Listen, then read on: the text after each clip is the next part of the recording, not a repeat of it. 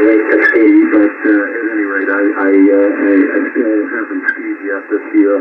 I'm having a, uh, a little bit of a, a back problem, so until that uh, clears up, I, I, I don't think I'd, I'd go out and do any skiing. But at any rate, uh, hopefully. So we're looking at a, a fairly dead uh, 40, uh, 21 megahertz band on a Sunday afternoon, spanning from here is 21.1 up to 21.3. And uh, the great thing about a, an SDR is you can go straight to where you see an interesting signal. I'm too stuck, uh, Alu and always working. So that station now is a US station.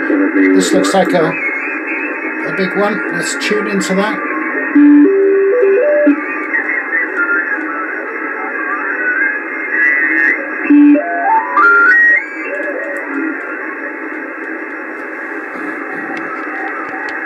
uh, a very clear shot, uh, on uh, the other side, uh, I have uh, some they don't seem to, uh,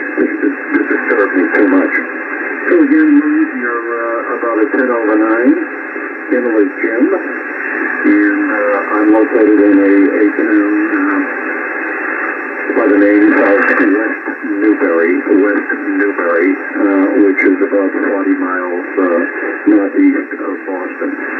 I feel on AWX. This is K1LU. Collection of uh. So this is 21 megahertz and um, looking at the spectrum display between 21.1 and 21.3 megs you can see where all the stations are so it's um, a really neat way to um, tune around the amateur band uh, uh, uh, that. Uh,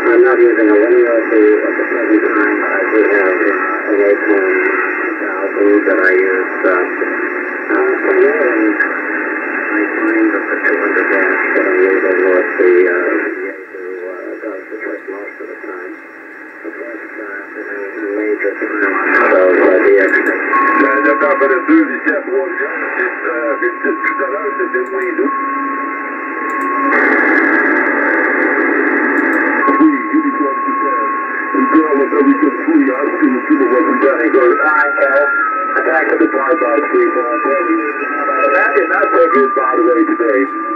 The band is so good with wide uh, signals coming through. Uh, looking condition here is a easy six tangle 2000, about 500 watts.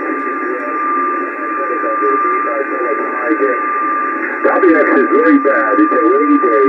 It's raining and quite uh, cool north wind. Very, very windy and rainy day today here in so that's a German station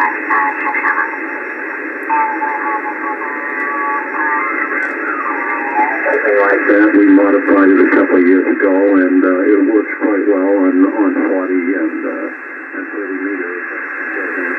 Performance on 40 uh, because I like to operate DX contests uh, on CW and phone.